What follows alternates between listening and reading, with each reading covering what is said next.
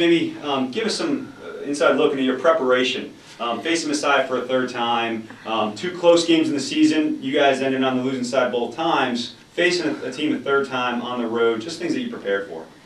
Well, we really wanted to be aware of uh, Dory and Kira inside. They're such a great post tandem. That's where you have to start with uh, things on the defensive end.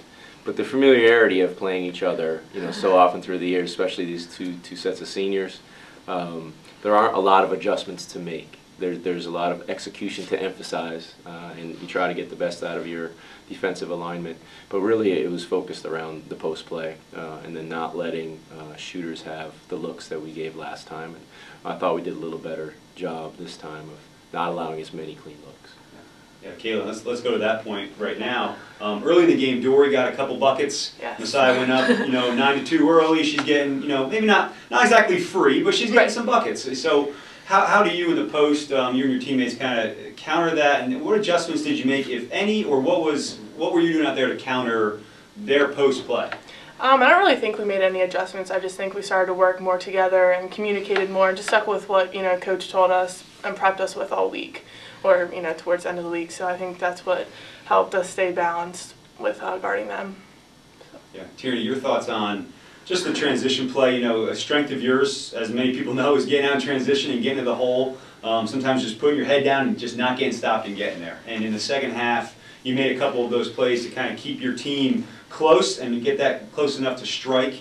Um, just your thoughts on the on the, the transition and perimeter play. Um, I think the big thing was rebounding the ball and then outletting up the floor and finding the open people really helped. I know Bach is a great rebounder and looks up the floor a lot on transition, so I think that really helped. And then executing in the half court set when we didn't have the transition really helped in the second half. I thought we did that a lot better than we did in the first. Yeah. Coach, your thoughts on um, what was a big stretch in the second half? You go down 39-32 um, when Nichols gets the, the, the layup over in transition. You come down, is it Borgia or Borgia? Borgia, Borgia hits a three, Big um, shot. and then Choclos hits a 3 Mhm. Um, kind of that stretch for you guys. What are you telling your team as you're kind of just trying to just inch back there? Your message to your team. Well, we wanted to focus on just grinding every possession and not being too worried about where we were in the score. Um, just keep fighting, and you know in the end we would be there and have our chance. Certainly, when Hannah got the breakaway for two, you know, in a game where no one has scored 40 points yet, it's a seven-point differential. That's it felt a little bigger. Um, so Liz's three was a really big shot for us, and, and you know Kylie coming back with the one-two punch next possession, I think gave us the energy on the defensive end to make the difference to finish the game.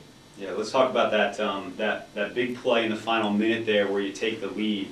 Um, Tierney, you come in on the right side, you're driving, you dish it off to the left. Caitlin, you get that and one score. Um, Caitlin, just just give us your thoughts on what it's like to finish that bucket to put your team ahead in a big moment like that. Oh, well, it was nice to obviously finish it. You know, Tierney made a great pass for me to be able to, you know, be able to block off their defenders when they came over. Uh, but I missed the free throw, so it was a little bit heart wrenching for me. But you know, my teammates stuck behind me like they did the whole game, and it was just a good possession to have because they had to respect Tierney and me as well next play. Coach, your thoughts on on this conference, uh, Messiah and LVC. Someone's got to win, someone's got to lose today. Two very good teams, top 20 teams. You got Widener, who's very high in the regional rankings. Um, what do you anticipate from this conference as the NCAA bracket comes out? What is what's the hope for LVC, um, and what you think you can do in the in the NCAA's, and you know what do you anticipate from the conference? Well, the conference is tremendous. The competition from, from first place to last place, I mean, it's strong. And, and the teams at the top, Messiah, uh, Widener, E-Town, LVC, any one of those teams is capable of winning a championship. Um, and you can see how that thing's played out in the semifinals, really good games.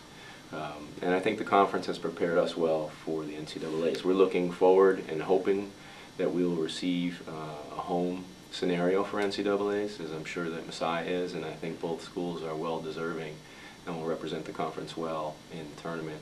Widener certainly regionally ranked, outstanding team, well coached. Uh, I think they are also deserving of an at-large bid, and hopefully the NCAA, you know, sees their way to see that happen.